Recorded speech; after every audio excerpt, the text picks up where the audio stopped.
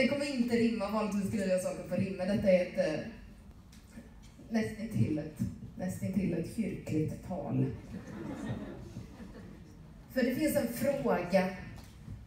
Vem eller vad svarar du inför? Någon kanske svarar mamma. Någon kanske svarar lagen. Någon svarar i min älsklings blick eller i barnet. Någon svarar framtiden. Någon svarar Gud. Någon svarar den representativa demokratin som trots sina brister är det bästa vi har. Någon svarar språket, någon svarar kulturen, någon svarar traditionen och historien. Få svarar snille och smak nu för tiden. Någon svarar med lag ska land byggas. Någon svarar endast mig själv och förringar världen till en spegel. Någon svarar heligheten, någon svarar magin, kärleken, den gyllene regeln, ordets makt, kroppens begränsningar och oändligheter, hela mänskligheten, vårt gemensamma. Jag svarar ja. Vem eller vad svarar du inför? För vi har ju världens alla orättvisor. Vi har svart på vitt och vi och dem, avgrundsmörker som öppnar sig. Vi har den vita blick en människa får när de ser en annan människa och inte längre ser människan.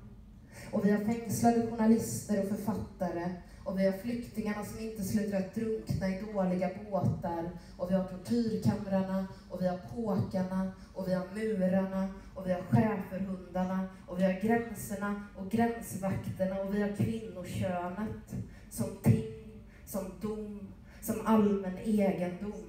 Vi har knivarna och saxarna, pistolmynningarna och drönarna. Vi har hudfärgerna som ting, allmän egendom. Vi har maktens korridorer och maktens domare och vi har barnen och svälten och sjukdomarna. Och vi har naturkatastrofen och höjningen av havsnivån och uppdelningen i de som har och de som inte har. Och vi har förbjudna ord och förbjudna tankar. Vi har makt som tränger in i det allra vackraste i människan och förstör. Och varje dag möter jag en människas blick som ber mig om någonting jag inte längre ger, för jag har slutat att se som alla andra får påminna mig. Det finns de som säger att sånt är synd, men oundvikligt. Jag ser det mer som en bild, ett hål i människan, där det onda flyter fram, mycket likt en spricka där ljuset strömmar in. Det finns något hopplöst svårt i att se sig själv utifrån.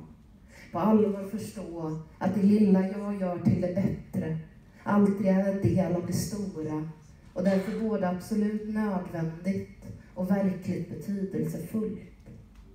Historien upprepas inte, trots att det gärna sägs, för tiden är alltid ny och därför alltid möjlig.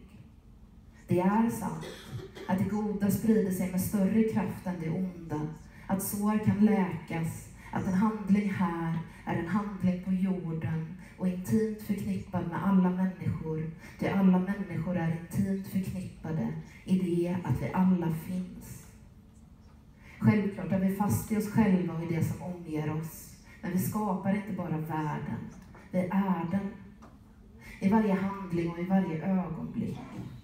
Någonstans inom oss möts ett hål av mörker med en spricka av ljus. Och medvetet eller omedvetet väljer vi då en riktning. Jag tror att det är en skyldighet att formulera denna riktning.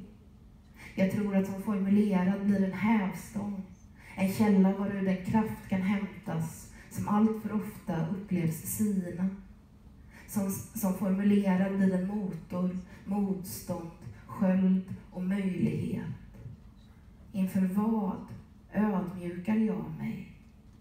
Vem eller vad svarar jag inför? Och i detta rum finns ett mycket vackert svar. Ja, alla människor är födda fria och i lika värde och rättigheter. De har utrustats med förnuft och samvete och bör handla gentemot varandra i en anda av gemenskap. Så i djupet av mitt hjärta, tusen tack och lycka till.